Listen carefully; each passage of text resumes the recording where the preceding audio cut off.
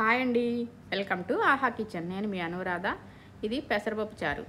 చాలా టేస్టీగా ఈ వేసవకాలం ఒంటికి చల్లదనాన్ని పొట్టకి హాయిని ఇచ్చే ఈ పెసరపప్పు చారు చాలా ఈజీగా ఎలా చేసుకోవాలో చూడండి. ముందుగా ఒక కప్పు పెసరపప్పు తీసుకొని దాన్ని ప్యాన్లో వేయించుకొని ప్యాన్లో వేసి సిమ్లో పెట్టి చక్కగా వేయించుకోండి. అంటే జస్ట్ వేడెక్కి కొంచెం వాసన వచ్చేటట్టు అంతేగాని కొంచెం కూడా కలర్ రాకూడదు. అలా జస్ట్ బాగా వేడెక్కి కొంచెం తర్వాత వెంటనే నీళ్ళు పోసేయండి ఆ వేడి మీద. నీళ్ళు పోసేసి ఒక పది నిమిషాలు అలా పెడితే ఏమన్నా రంగు ఉన్నా కూడా పోతుంది. తర్వాత శుభ్రంగా కడిగి ప్యాన్లో వేసుకున్న తర్వాత రెండు టమాటాలు ఇలా మొదళ్ళు తీసేసి ఇలా దానిలో పెసరపప్పులో పెట్టి కుక్కర్లో ఈ పెసరపప్పు వేసుకొని ఒక గ్లాస్ నీళ్ళు పోసుకొని మూత పెట్టుకొని ఒక్క స్పూను నూనె కూడా వేసుకోండి. ఎందుకంటే పెసరపప్పు ఊరికే పొంగుతుంది.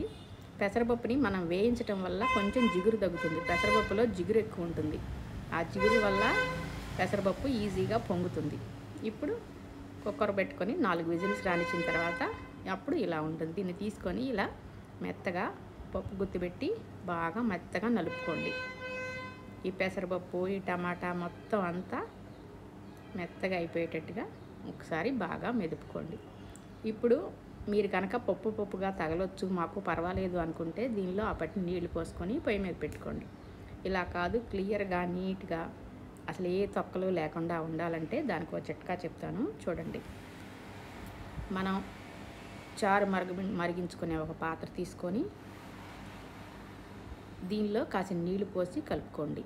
ఇలా జ్యూస్ వడకట్టేది ఉంటుంది కదా అది తీసుకోండి. ఇదంతా వేడి మీద చేస్తేనే పప్పు ఏమి మిగలకుండా వస్తుంది. చల్లారిపోయిన తర్వాత కాదు పూర్తిగా వేడి మీదే చేయాలి. ఇలా జ్యూస్ వడకట్టే దానిలో వేసి గరిటె పెట్టి ఇలా అనుకుంటుంటే పప్పు మొత్తం దిగిపోతుంది. పైన టమాటా తొక్కులు మాత్రమే మిగులుతాయి. మనం మిక్సీలో వేసిన దానికన్నా చాలా బాగా వస్తుంది. పప్పుని మిక్సీలో వేడి మీద వేయలేం కదా? అందుకని ఇలా ఈ జ్యూస్ వడకట్టుకునే దానిలో ఇలా కాస్త కాస్త వేసుకొని మొత్తం దిగిపోయేటట్టుగా చక్కగా ఇలా ఫిల్టర్ చేసుకోండి. అసలు ఏమీ మిగలదు. మనకు కావాల్సినప్పుడు మధ్య మధ్యలో నీళ్ళు పోసుకుంటూ ఇలా ఫిల్టర్ చేసుకోవాలి. మీకోసం కొంచెం ఫాస్ట్ చేసి మొత్తం చూపెడుతున్నాను. నేను పప్పు ఎలా మొత్తం అయిపోయిందో అసలు పప్పు అంతా ఎలా దిగిపోయిద్దో ఈజీగా మీకు మొత్తం ఫాస్ట్ చేసి మరీ చూపెడుతున్నాను. ఇదిగో చూసారా? టమాటా తొక్కు మాత్రమే మిగిలింది. పప్పు ఏమీ మిగల మిగలకుండా మొత్తం చక్కగా అయిపోయింది. మిక్సీలో చేసిన దానికన్నా బాగా వస్తుంది. మీకు చారు త్వరగా అయిపోతాయి కూడా చేసుకోవడం. పప్పు ఉడకగానే కుక్కర్ విజిల్ తీసేసి వెంటనే మెదిపేసుకొని మళ్ళీ వెంటనే ఆ వేడి మీదే చారు కూడా పెట్టేసి చూడండి. టమాటా తొక్కు తప్పితే ఏమీ మిగలలేదు. అంతా నీళ్ళతో పాటు కిందకి వెళ్ళిపోయింది. ఈ పద్ధతిలో చారు చేసుకున్నారంటే మీకు పని త్వరగా అవుతుంది. ఇదిగో చూసారా ఎంత క్లియర్గా ఉందో? పప్పు బద్దలు లేకుండా బద్దలు ఉంటే ఇష్టపడే వాళ్ళు ఈ ప్రాసెస్ ఏం చేసుకోకుండా అలా మెదుపుకొని నీళ్ళు పోసేసుకోవచ్చు. ఇలా కావాలనుకున్న వాళ్ళు ఇలా ఫ్రూట్ ఫ్రూట్స్ వడకట్టే దాంతో ఇలా చేసుకోండి. చూసారు కదా ఎలా వచ్చిందో? ఇప్పుడు మనకు కావాల్సినన్ని నీళ్ళు ఆ చిక్కదానానికి తగ్గట్టుగా ఎన్ని నీళ్ళు కావాలో అన్ని నీళ్ళు పోసుకోండి. తర్వాత దీనిలోకి ఒక ఉల్లిపాయ సన్నగా చీలికల్లా కట్ చేసుకొని వేసుకోండి.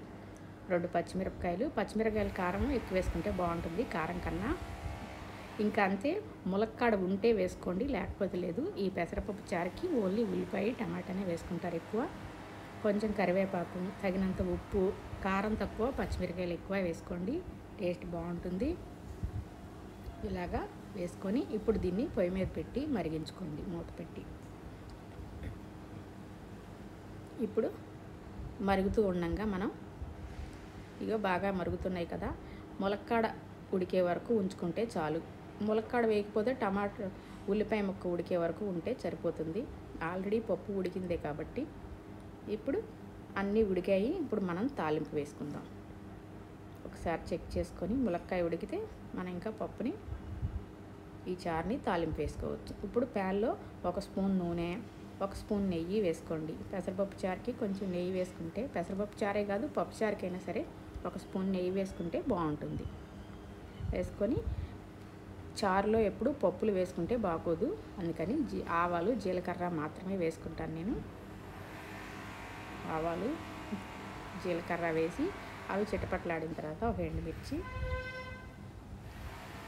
కొంచెం ఇంగువ పప్పు కాబట్టి.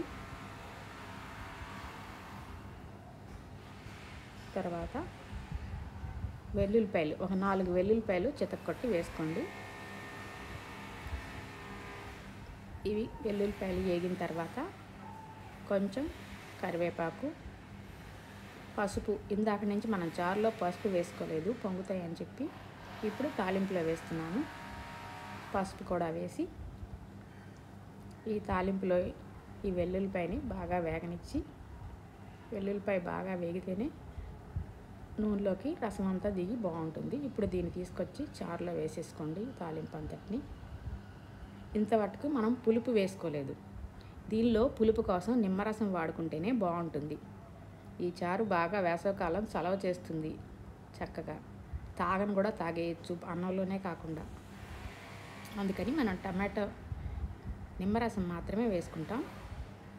ఇప్పుడు పూర్తిగా స్టవ్ ఆపేసి ఉడకటం ఆగిపోయిన తర్వాత మాత్రమే మనం నిమ్మరసం వేసుకోవాలి. అంతేగాని ఉడికేటప్పుడు నిమ్మరసం వేసుకోకూడదు.